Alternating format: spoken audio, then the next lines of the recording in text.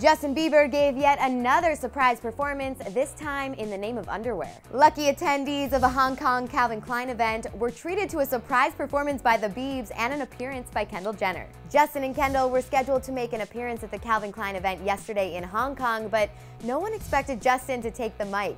He performed quite a few of his hits, including Boyfriend, Beauty and a Beat, and a ton more, as well as a cover of Ne-Yo's So Sick. Take a look. I'm so sick of love songs, so sad and slow. So why can't I turn off the radio? Calvin Klein commemorated the surprise performance with a few shots of Justin on their Instagram and Snapchat accounts with the caption, On Point. At Justin Bieber surprises the crowd with a special performance at the Calvin Klein Jeans music event.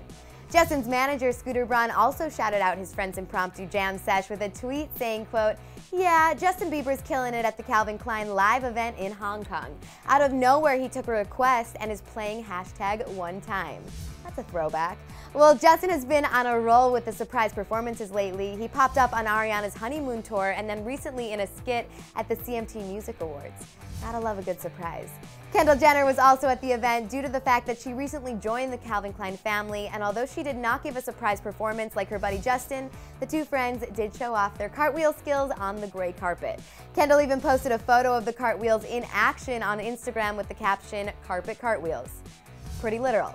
So clearly a fun time was had by all. What do you guys think about Justin's surprise performance? Sound off in the comment section below. Don't forget to subscribe and then click right over here to check out Justin and James Corden reenact their car ride karaoke skit at the CMT Music Awards.